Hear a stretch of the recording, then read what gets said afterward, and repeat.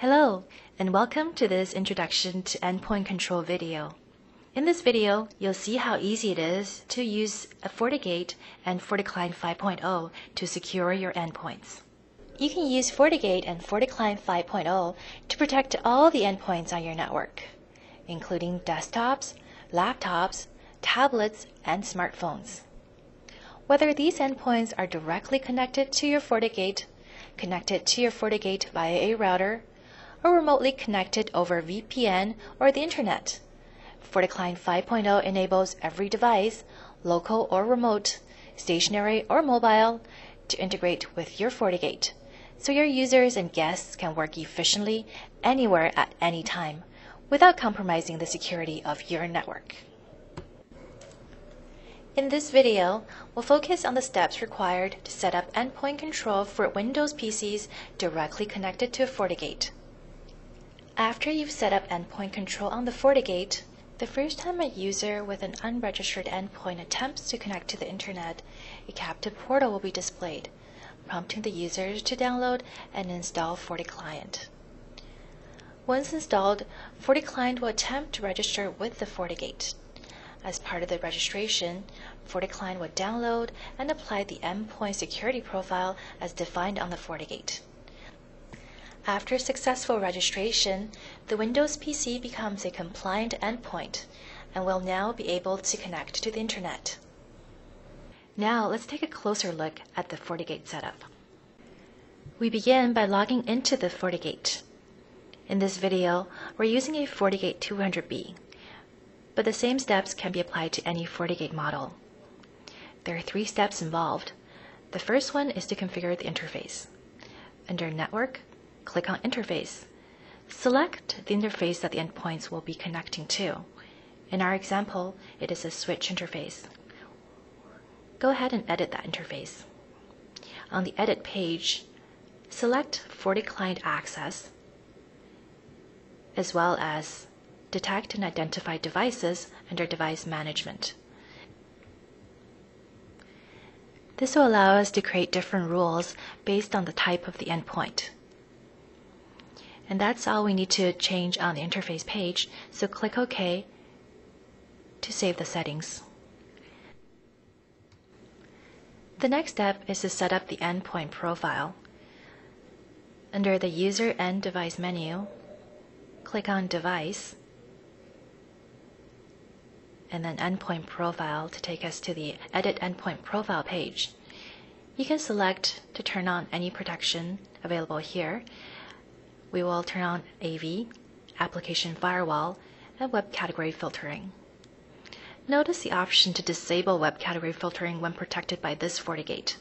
This allows web category filtering to only be turned on when the endpoint is not connected to our FortiGate.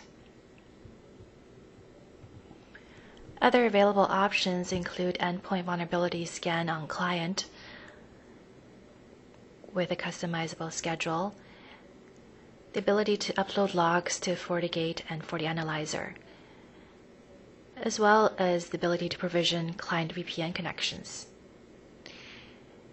We will create a connection here, a VPN connection to work. This allows our endpoint users to use these default VPN connections.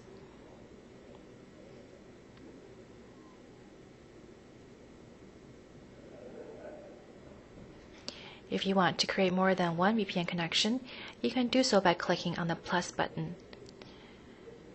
We'll go ahead and create another connection to the Paris office with its own remote gateway and pre-shared key. Once you're all done setting up the endpoint profile, click Apply to save the changes.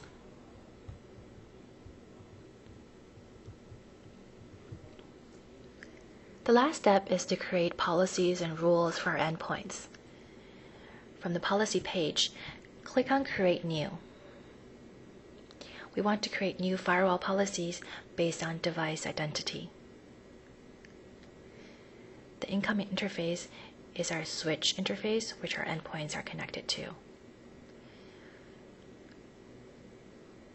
We'll select all source addresses. That are connecting to the internet via our WAN interface. Enable NAT should be checked. And we'll create three rules. The first rule we're going to create will be for Windows PCs that are compliant with our endpoint profile. For these Windows PCs, we'll basically allow them to access our services. So we want to choose all destination addresses, the device type as Windows PC. Note you can choose multiple types by clicking on the plus button on the right. Make sure compliant with endpoint profile is checked. And set the schedule and service to always and all. The action we want to perform here is to accept because these are compliant Windows PCs. We'll also turn on the web filtering service on the FortiGate for this rule. Once you're done, click OK to save this new rule. The next rule we're going to create will be for Windows PCs that are not compliant with our endpoint profile. So we'll again choose all destination addresses and Windows PC as our device type. But we'll leave compliant with endpoint profile unchecked here. We'll set the schedule to always and service to all, but the action here will be to display the captive portal. And we want to enforce FortiClient compliance. Click OK to save this rule. The last rule we're going to create will be for all other non-compliant endpoints. So we'll select all destination addresses and all devices, leaving the compliant with endpoint profile unchecked. Schedule to always, service to all, and the action you may wish to set to deny captive portal or accept as we have done here. Because these are non-compliant endpoints, you may wish to turn on your security protections. In our case, we'll turn on everything click OK to save this new rule. So now we have three rules, one for compliant PCs, one for non-compliant PCs, and one for all other non-compliant endpoints. And that's it. These are all the configurations we need to make on our FortiGate. Now that we've set up our endpoint profiles and policies, let's see what happens when a Windows PC user tries to connect to the internet for the first time.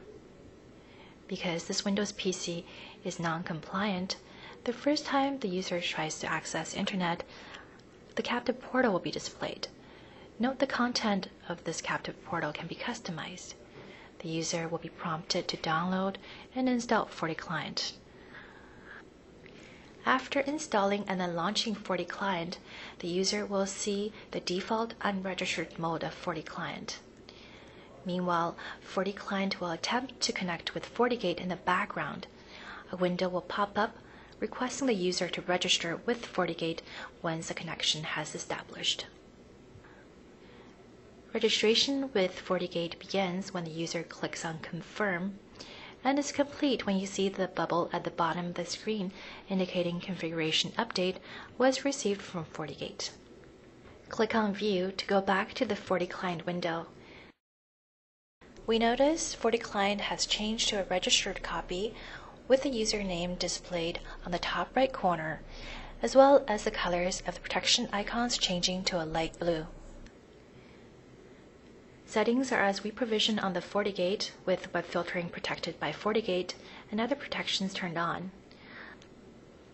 We can verify that the VPN connections we set up on the FortiGate are available via the FortiClient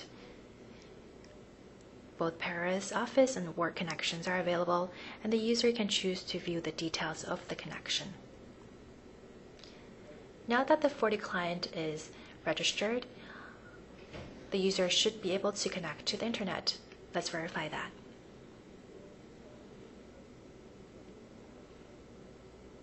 There.